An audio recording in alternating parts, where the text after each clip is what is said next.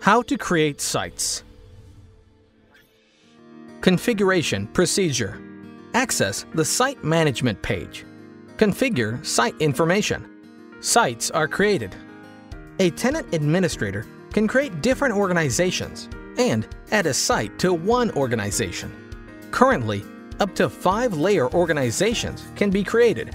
You can create sites on iMaster NCE campus for unified O&M and management. Either of the following modes is available for you to create a site. Creating sites one by one.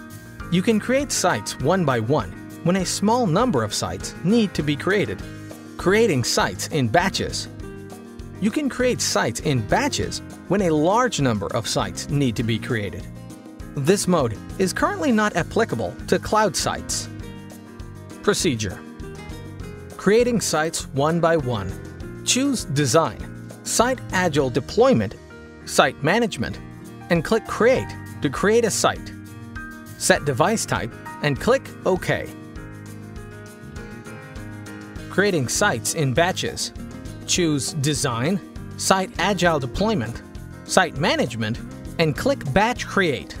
Download the site template.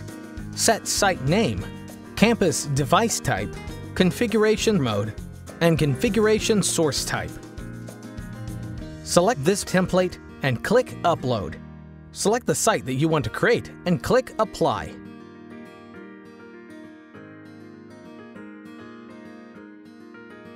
Verifying the configuration.